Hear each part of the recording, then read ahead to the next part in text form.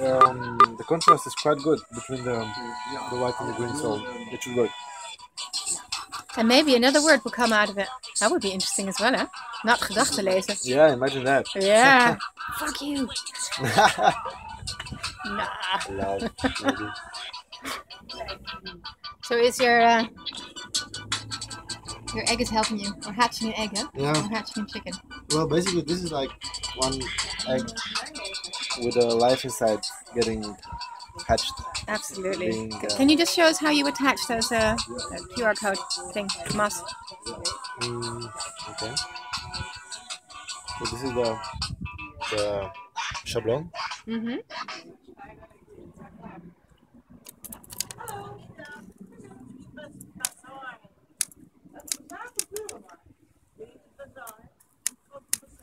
Utrechtse bazaar.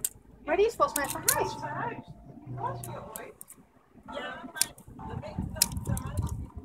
Naar Kanaleneiland.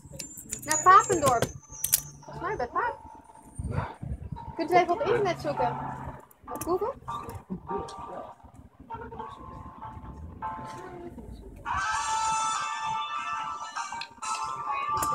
Oh, niet weglopen! niet weglopen! What happened? Ja, dat kan.